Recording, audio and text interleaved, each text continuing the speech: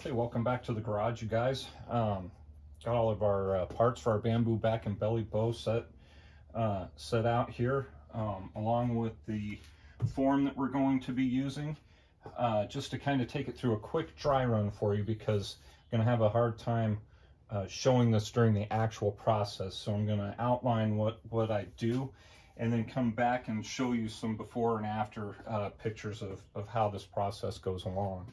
Um, let's start first with the form. Uh, we, we already picked our form that we're going to use, but you'll notice that I have a high density foam layer on here, uh, the purpose of which is to uh, mitigate those, those nodes, you know, while trying to bend it into the shape of the form. And so by having that heavy foam, it kind of acts as a, an absorbent, uh, it absorbs those nodes without uh, giving up the shape. Uh, I got it, or got the idea, um, you may recognize this as one of those foam uh, floor tiles, you know, and, and actually this is the one I used. You can see I cut strips off of here and just pieced together a uh, just a, a, foam top for my, my form. All right, so we start there. Uh, for glue, we are going to use EA40 uh, epoxy. And you'll notice in the instructions that it talks about doing one-to-one -one ratios if ever you've used it before. But there's a part in here that says when mixed 2A to 1B by volume, it will achieve greater heat resistance and improve physical properties. All right, so I, uh, I have read the technical sheet. talks about a, a, heat distortion value of like 217 degrees. Uh, also talks about uh, curing a bow or curing any project after the fact at 250 degrees for two hours to improve the heat distortion qualities of this glue.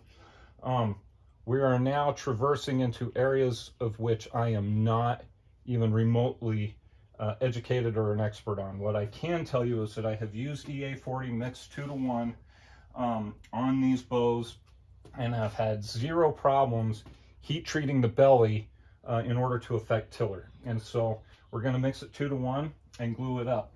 Uh, here's how the process is going to work. We're going to layer we're going to layer this mold with plastic wrap from end to end and just let it leaf over the side and start by gluing our core and our backing together. And these are going to set in the mold ahead of everything else. So we'll get it centered in here on the mold. and then we will glue the belly side of the riser. Now this is going to be kind of a separate gluing process right here. So once we get these components together, we're going to come back and clamp this down so that we got this piece of the mold already done. So this, this will be basically done in through here. And then once this is clamped down, we'll then come back and glue on the additional belly pieces and then once these are in place, we'll take the plastic over top and then we will wrap this with rubber bands to get the, uh, the shape of the mold down. All right, so that's, that's going to be the gluing process. And it's a little bit, well, it's a lot different than say like a typical, uh, just a gluing on a backing.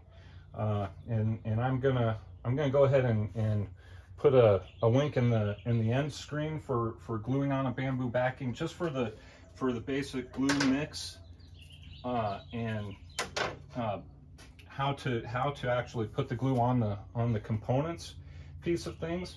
Uh, I'm not going to cover that again in this video. What I'm going to do is I'm going to go ahead and get to get to work with the glue itself and get all my parts assembled and then I'll come back and show just kind of in steps where we are along the group gluing process so that you can uh, follow along the actual process itself for, for this multi-piece bow because the, the actual clamping is going to be different than just putting it back onto a belly.